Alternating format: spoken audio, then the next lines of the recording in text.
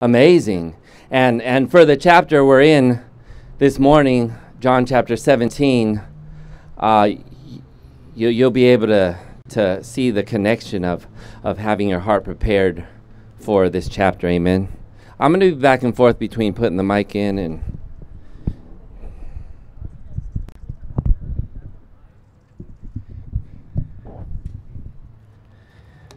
So I start with this story.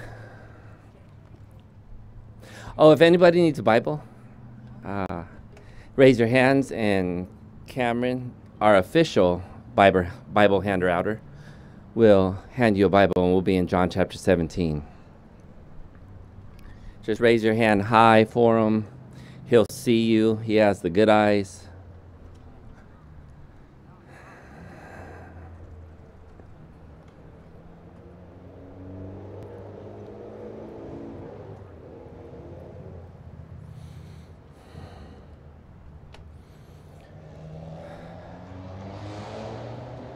One more right here, Camp Fam.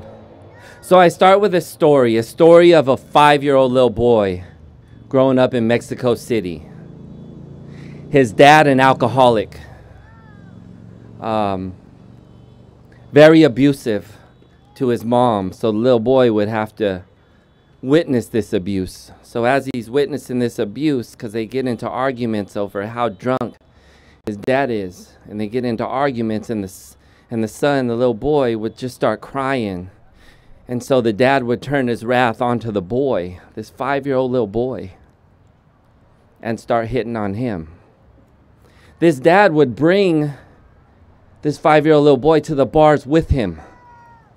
The little boy would fall asleep in one of the nooks, the benches in the bar, as the dad was drunk trying to pick up on women. So the the, the boy would wake up and he would he would see his dad and he would see that that's not my mom he's talking to. So the little boy would start crying. And so the woman would look and the woman would say is that your son? You brought your son to the bar with you? And she just storm away from the man. And the dad would tell the little boy he'd be like wait till we get home. Wait till we get home and so we'd go home and he'd whoop the son for, I'm sorry, interrupting the dad's adultery. So the mom had enough. She packed up the kids. She gathered them up. She said, Kids, we're moving to California. She took the kids to California. The little five year old boy grew up. We'll fast forward to high school very violent, very angry from what he witnessed. His mom beating his dad, his mom beating him. One of his friends said that if you weren't his friend, I feel sorry for you because that wrath is coming. So at the end of high school, he ends up joining the Marines. And this was at the time of the Vietnam War. So he gets deployed to Vietnam fights in the war, and he describes his first kill. He said he was in a state of shock. He, he, he just didn't know what he just experienced, what he just took part in. So he was seeing his friends stepping on mines, blowing up, getting maimed, no legs. He would have to drag his friends away by their hair because their legs were gone.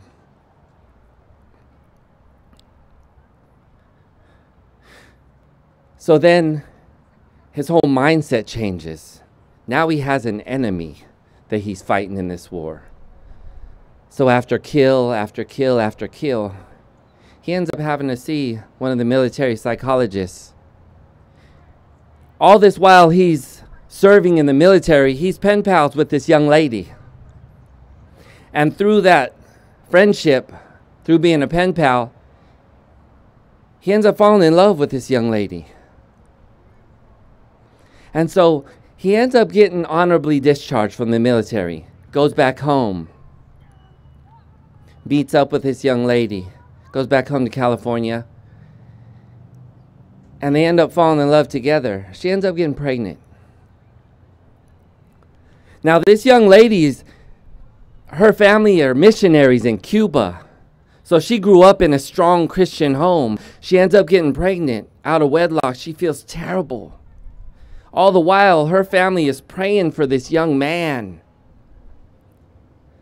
to come to the Lord. He's gone to church with them. He's gone up on altar calls and said, Yeah, yeah, I gave my life to the Lord. Yeah, yeah.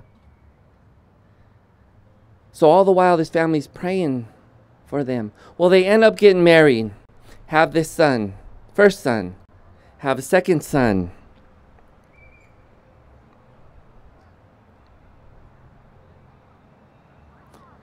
Then PTSD, alcoholism enters his home.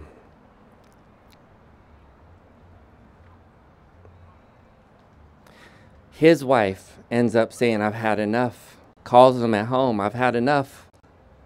I'm taking the kids. So, what does the husband do?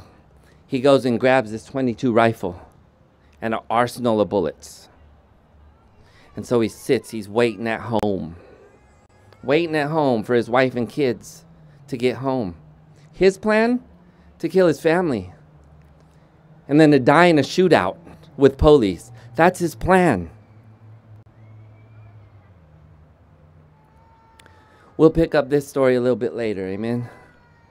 So, in preparation for John chapter 17, I, I tend to like to pick my kids' brains a little bit when, when, when preparing to learn from the Lord. So, I asked my kids, I asked them, what does the word legacy mean to you? And Jasmine shared her thoughts. My, my 17 year old daughter shared her thoughts. She said it's what you, be- what you leave behind. Your legacy is what you leave behind. And she finished her thought by saying, Now your legacy could be either good or bad. So here we in Hebrews chapter 12 verse 2 it says, For the joy set before him, for, for the joy set before Jesus, he endured the cross. What is this joy that's being spoken of? This passage we're in, John chapter 17, give us, gives us a window into Jesus' heart. Here we find ourselves in, in John chapter 17.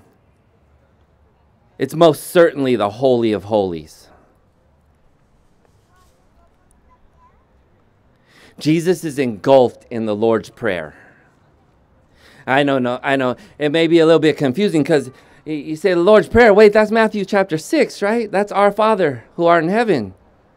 Well, actually, that was Jesus giving the disciples a model prayer after they asked their Lord to teach us to pray.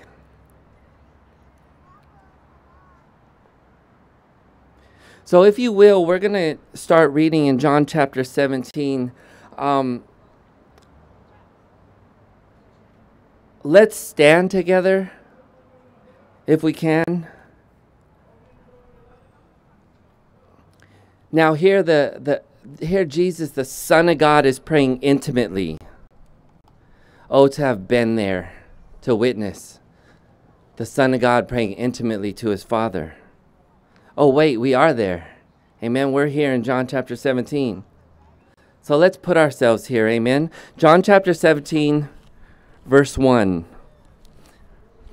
says, After Jesus said this, he looked toward heaven and prayed, Father, the hour has come. Glorify your Son, that your Son may glorify you. For you granted him authority over all people, that he might give eternal life to all those you have given him. Now, this is eternal life, that they know you, the only true God, and Jesus Christ, whom you have sent. I have brought you glory on earth by finishing the work you gave me to do. And now, Father, glorify me in your presence with the glory I had with you before the world began. Verse 6 I have revealed you to those whom you gave me out of the world. They were yours, you gave them to me, and they have obeyed your word. Now they know that everything you have given me comes from you. For I gave them the words you gave me, and they accepted them. They knew with certainty that I came from you, and they believe that you sent me. Verse 9 I pray for them. I am not praying for the world, but for those you have given me, for they are yours. All I have is yours, and all you have is mine, and glory has come to me through them. I will remain in the world no longer, but they are still in the world, and I am, and I am coming to you. Holy Father, protect them by the power of your name, the name you gave me, so that they may be one as we are one. Verse 12. While I was with them, I protected them, and I kept them safe by that name you gave me. None has been lost except the one doomed to destruction, so that scripture would be fulfilled. I am coming to you, but I say these things while I'm still in the world, so that they may be the full measure of my joy within them. Verse 14 I have given them your word, and the world has hated them, for they are not of the world any more than I am of the world. My prayer is not that you take them out of the world, but that you protect them from the evil one. They are not of the world, as I am not of it. Sanctify them by the truth. Your word is truth. As you sent me into the world, I have sent them into the world. For them I sanctify myself, that they too may be truly sanctified. Amen. You may be seated. I'm just going to finish off because the last five verses are Jesus praying for us. So I really want you guys to soak this in. So I'm going to start off in verse 20. Jesus praying to the Father, My prayer is not for them alone. I pray also for those who believe in me through their message, that all of them may be one, Father, just as you are in me and I am in you. May they also be in us, so that the world may not believe that you have sent me, so that the world may believe, sorry, that you have sent me. Verse 22 I have given them the glory that you gave me that they may be one as we are one, I in them, and you in me, so that they may be brought to complete unity. Then the world will know that you sent me, and I have loved them even as you have loved me. Verse 24 Father, I want those you have given me to be with me where I am, and to see my glory, the glory you have given me, because you loved me before the creation of the world.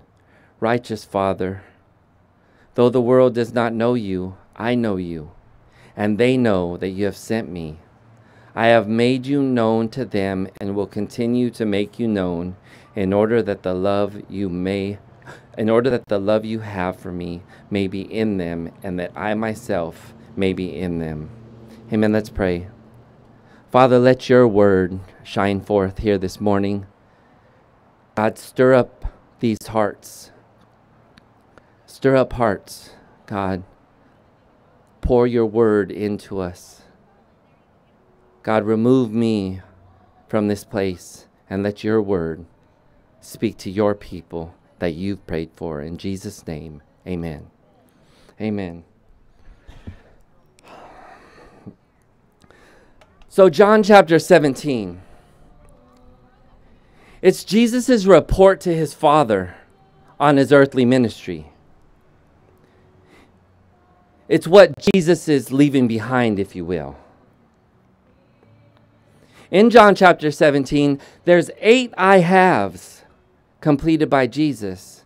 And I'd like to go through these I haves. He's, he's saying, Father, I have done this. So in verse 4, it starts out by saying, I have brought you glory on earth. Jesus telling the Father, I've brought you glory on earth. Verse 4 as well says, I have finished your work. In verse 6, it says, Jesus saying to the Father, I have revealed you to those you gave me. In verse 8, Jesus says, I have given them the words you gave me. These two verses 6 and 8, we'll dive into them a little bit later. Verse 14, the fifth I have, I have given them your words. I have given them your scripture. Verse 18, the sixth I have says, I have sent them into the world. And the seventh I have, in verse 22, I have given them the glory that you gave me. And the eighth I have that Jesus states to God, Jesus says, I have made you known to them. The title of my message is Jesus, a legacy for certain. You want to leave behind a legacy that glorifies God? Here's the model right here in John chapter 17.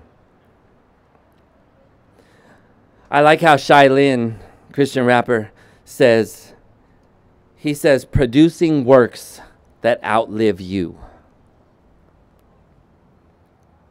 So now to zoom in to John chapter 17, we're going to focus on verses 6 through 9.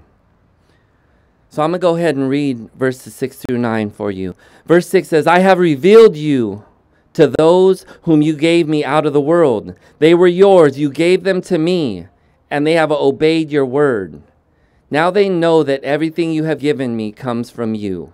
For I gave them the words you gave me, and they accepted them. They knew with certainty that I came from you, and they believe that you sent me. I pray for them. I am not praying for the world, but for those you have given me, for they are yours.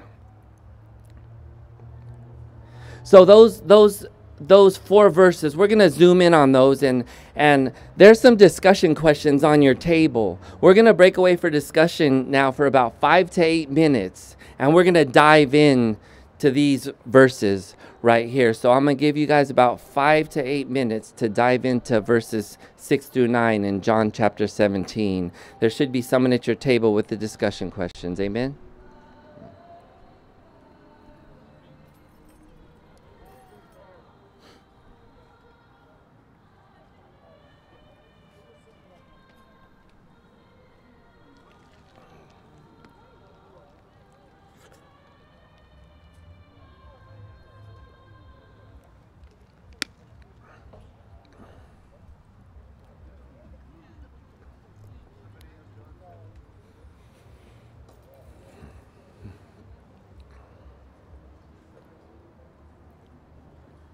Feel free to just pull somebody into your group too. If you see somebody's not in a group, pull them right in.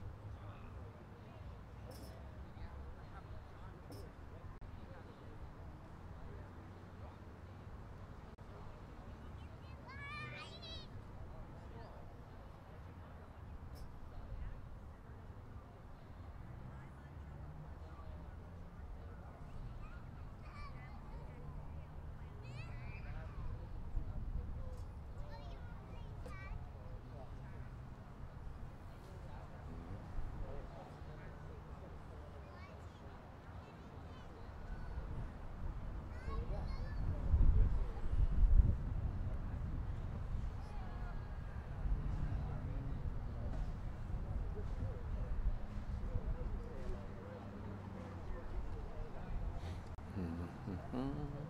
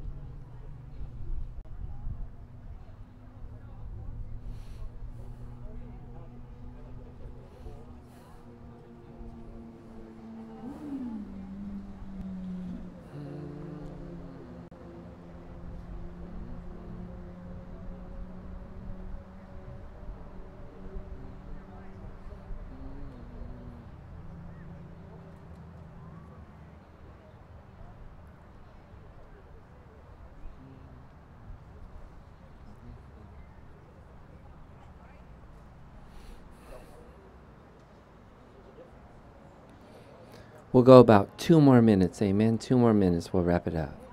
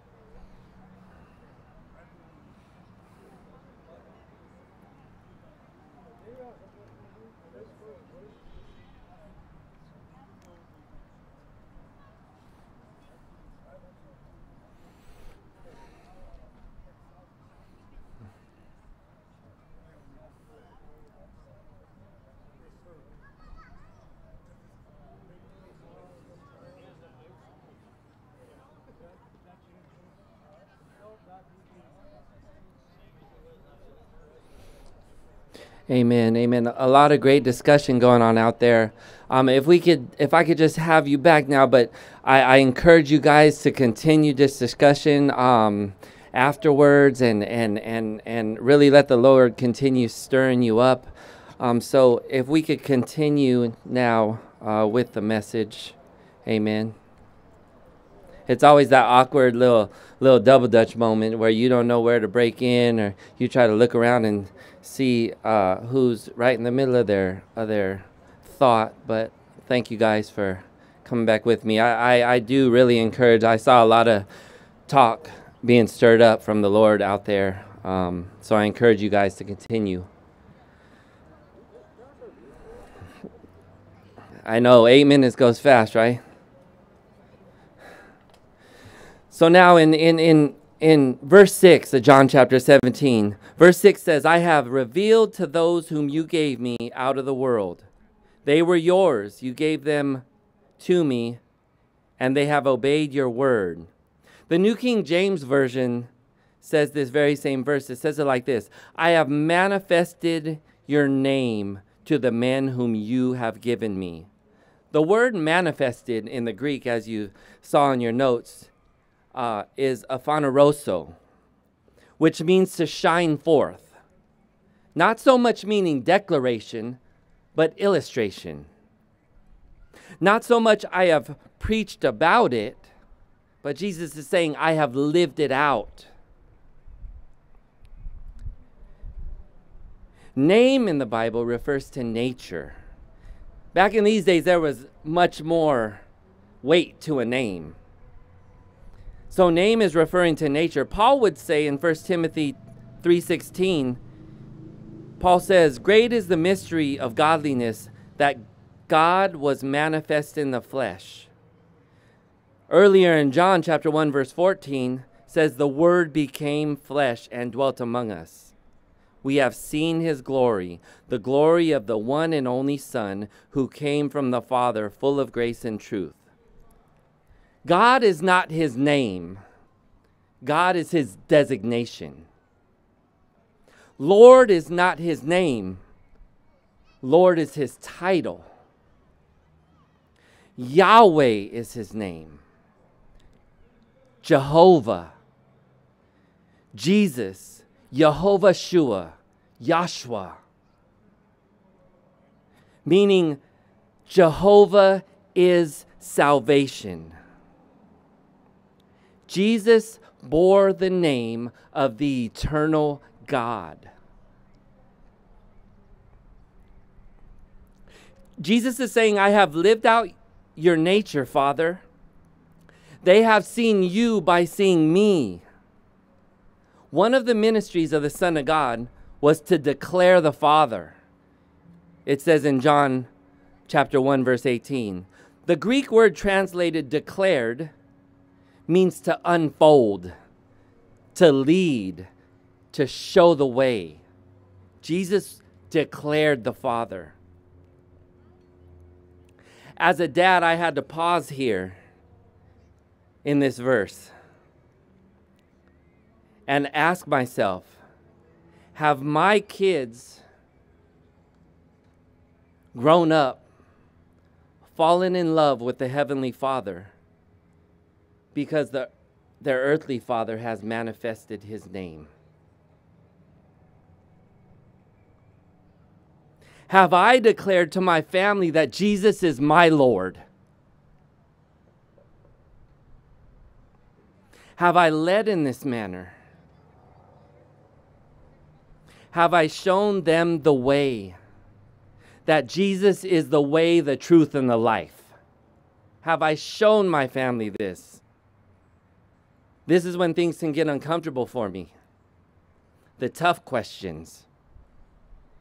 P.T. Barnum says, comfort is the enemy of progress.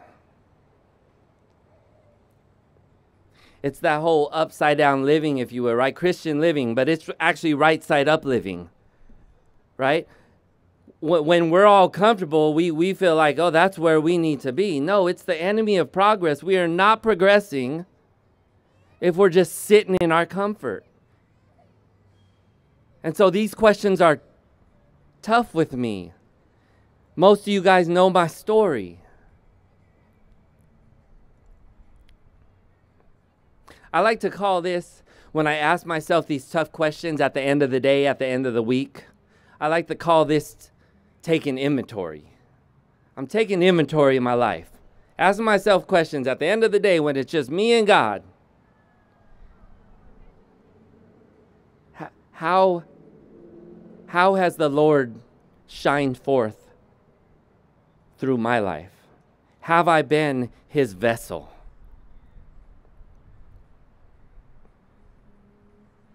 Pastor Mike read verse 2 in chapter 17. It says, For you granted him authority over all people, that he might give eternal life to those you have given him. And he hit on the word authority. And it cut me. Because God's word is sharper than any two edged sword. Amen. The, author- the, the authority I learned growing up was a fear based authority through intimidation, military style. If you don't do this, this what's going to happen. Right? And there was a lot happening when I was growing up. I knew no other way until I met Jesus. But that was for 40 years now. That was for 40 years before I knew Jesus. So I knew no other way. So 40 years of learning that way. So what's my go to still now? It's that way. until I surrender to the Lord. That's my go to. It was a proven method, it kept me out of jail. My dad said, if you do this, this, and that, it's going down. And it worked. I thank my dad for that.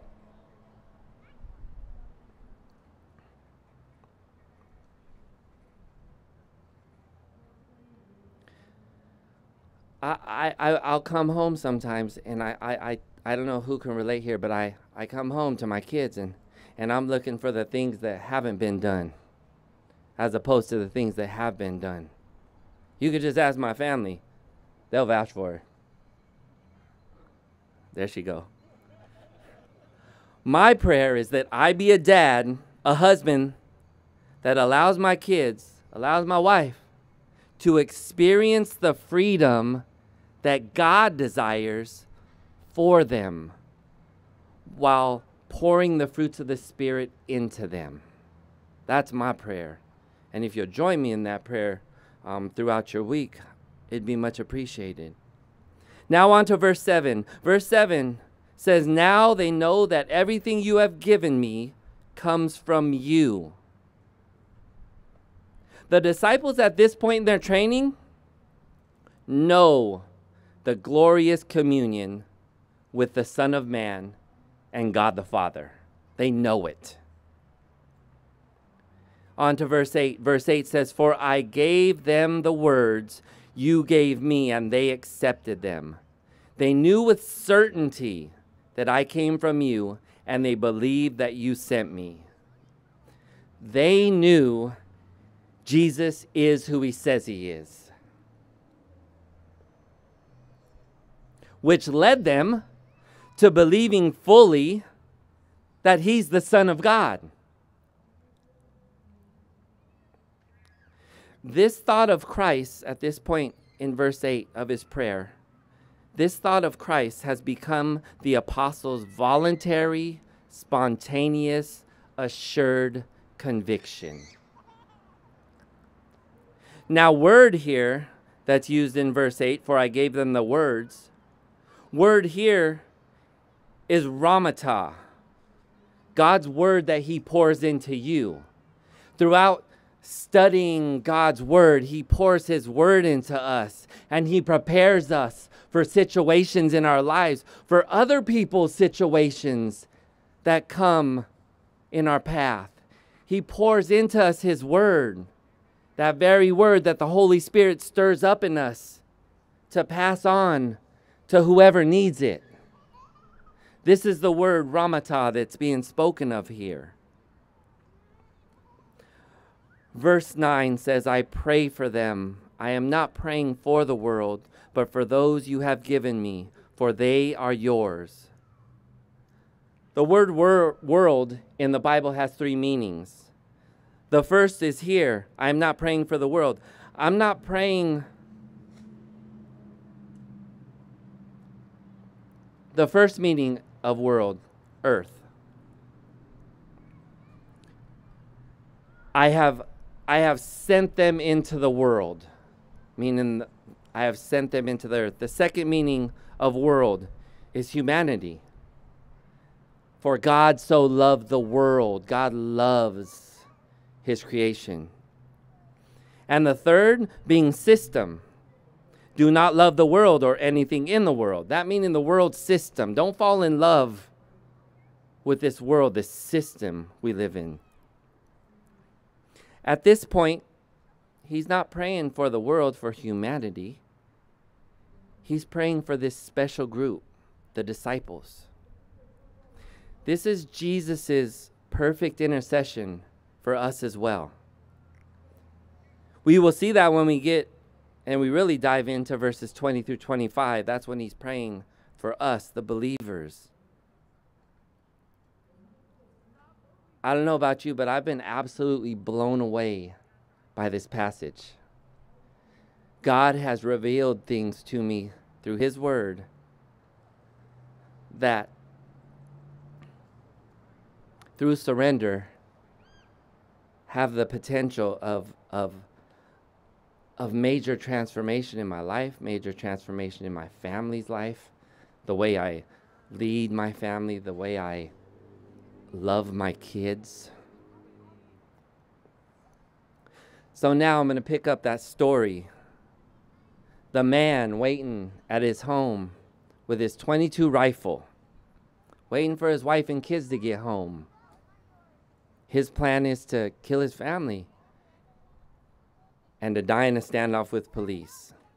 In waiting for his family, with his 22 rifle in hand, he starts to become impatient. He's, he's getting angry now. He starts just taking the butt of his rifle and just hitting things, destroying things in his house. He takes the butt of his rifle and he just hits the TV. The TV comes on. On the TV is this half bald gentleman talking about Jesus Christ. He's ready to shoot the TV. He's angry. He doesn't want to hear this. He takes aim at the TV. And this man on the TV starts asking the audience if they would like to forget what's behind and start with a new slate, a clean slate. He then continues to share the gospel, and the husband drops his rifle drops to his knees, starts sobbing for the first time in his life, asking Jesus to forgive him and come into his life. He then jumps in his car. He wants to share with his wife the good news. He wants to share the exciting news. I've just given my life to Christ. He's driving around the town. He drives to the church. She's not there. He drives everywhere. He ends up going back home. She's there. He's knocking on the door. He's pounding on the door. I'm sure the wife was like, oh, here we go again. So she opens the door, chain still latched. And he's like, I've given my life to Christ.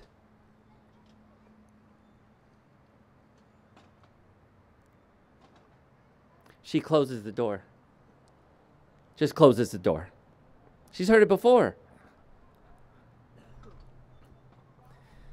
They end up still staying together.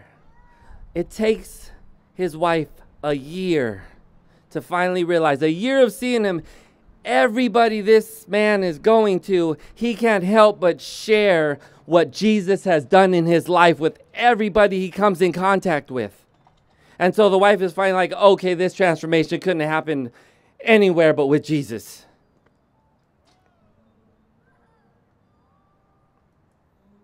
The Rieses start up a Bible study in their home of about seven people, which is now, which is now grown into the congregation of about 15,000 at Calvary Chapel Diamond Bar. Raul and Sharon Ries are now sold out for Jesus Christ, and God is using them mightily to his glory. Jasmine was right when she said legacy can be either good or bad. Raul Ries said that he couldn't understand how God could use trash like him. I could relate. If this story had ended in the first half of this marriage, then absolutely a bad legacy. But when God takes over a story, takes over a life, that's when it becomes how Billy Graham describes a legacy. Billy Graham says the greatest legacy one can pass on to one's children and grandchildren is not money or other material things, but rather legacy of character and faith. Now, that man on the TV that came on when Raul Ries hit it with the butt of his rifle and he dropped his knees and gave his life to Christ? None other than the late Pastor Chuck Smith, Calvary Chapel, Chapel's pastor. From where Calvary Chapel Diamond Bar and a whole lot of other Calvary Chapels sprung up through God's power. Amen. Including Refuge Huntington Beach, who sent a team of bald crazy guys to Long Beach, California to plant Refuge Long Beach. Amen? Amen. I'd like to close by reading from Pastor Chuck's book, A Man God Uses. The first 14 chapters, don't worry, I'm not going to read all 14 chapters. Okay, don't worry, I've, I've held you guys long enough. I'm just going to read the title to the first 14 chapters. Chapter number one prayer in the man God uses. Chapter two faith. Chapter three give God the glory. Chapter four God's word. Chapter five persecution. Chapter six spirit filled. Chapter 7, born again. Chapter 8, boldness. Chapter 9, submitted to God. Chapter 10, spirit led. Chapter 11, uncompromising. Chapter 12, obedient. Chapter 13, good steward. Chapter 14, faithful servant. Now, chapter 15, the final chapter I am going to read. Chapter 15's title is The Man God Uses. What kind of man does God use? God uses the man who comes to the cross daily, who has no ambitions for himself. God uses the man whose life brings honor and glory to Christ. God is looking for the person who refuses to seek after the applause of men, who, like Jesus, is centered on submission to God's will. He is looking for that person who is willing to, pre- to pre- present his body as a living sacrifice, holy and acceptable to God. Are you willing? We are living in the last days before Jesus returns for his bride, the church. And I believe that God wants to give this world one final witness of his love, grace, and mercy before his righteous judgment comes. The prophet Joel spoke of the former rain and the latter rain in Joel chapter 2 verse 23. And I am praying that the Lord would pour out his spirit over the world that we would see genuine revival, not a circus atmosphere which brings attention to man, but in a genuine manner that draws people to Jesus Christ. Since Adam's original sin, God has been looking for a man that he can use to accomplish his purpose. Genesis 5:24 tells us the simple testimony of such a man, and Enoch walked with God. When your life here on earth comes to an end, do you want to be known as a person who walked with God? Are you willing to allow the Holy Spirit to take control of your life right now? During the time of Ezekiel, God searched for a man who would stand in the gap between himself and the sinful nation of Israel. Will you be that type of man? We catch a glimpse of God's heavenly glory in Isaiah chapter 6. When Isaiah entered into God's presence, Isaiah recorded in verse 8 I heard the voice of the Lord saying, Whom shall I send? And who will go for us? Then I said, Here I am, send me. Do you want God to use your life? Are you willing to say with Isaiah, Here I am, Lord, send me? If so, then it's time to strap on your spiritual armor, pick up your sword, and get in the battle. For the man God uses is willing to be used. God uses men or women who know Jesus with certainty, believe he is who he says he is, then surrenders their life to him.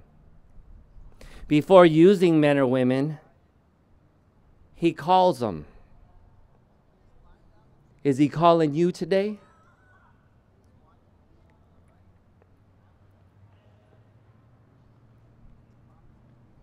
If I could please have the worship team come up.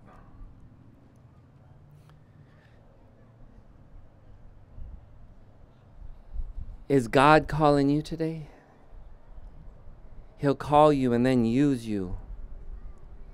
If you've heard the good news of Jesus Christ for the first time today, know this that God has a purpose for your life. No matter where you've been, No matter what you've done, God is willing to take over. And all you've got to do is surrender your life over to Him. For those who've already made that decision but just want to change the course of your legacy and be that one that stands in the gap, please, all the Lord has spoken to today, pray with me and repeat after me. Let's pray. Father, God, I've sinned. And God, I've been on a path that I've decided to take myself on, that I've been in full control of. God, right now I'm declaring that Jesus is my Lord, my Savior. I'm surrendering that life that I've controlled for so long over to Him. And God, I ask that you just take this life over as you have in so many lives. Father, I, I, I just surrender. I completely surrender with open hands, open arms. I surrender my life to you right now. And I pray, God, that you just take me and love me and give me the purpose that I was created for. In Jesus' name I pray. Amen. If you guys could just sing with me, please. How great is our God. Sing with me, how great is our God. And all will see how great, how great is our God. One more time, let everybody hear it. How great is our God. Sing with me, how great is our God. And all will see how great, how great is our God. Amen. You know, the good news is that we're saved by grace. It's not by any works. Mm. We can't work our way into heaven. We just receive the gift the free gift that, that Christ paid for us on the cross. Lord, we're so grateful that your grace is enough.